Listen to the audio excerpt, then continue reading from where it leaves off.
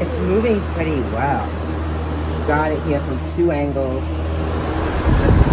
Fidget spinner on a fan, being moved by a fan. It's actually pretty good. It's not up this speed so far.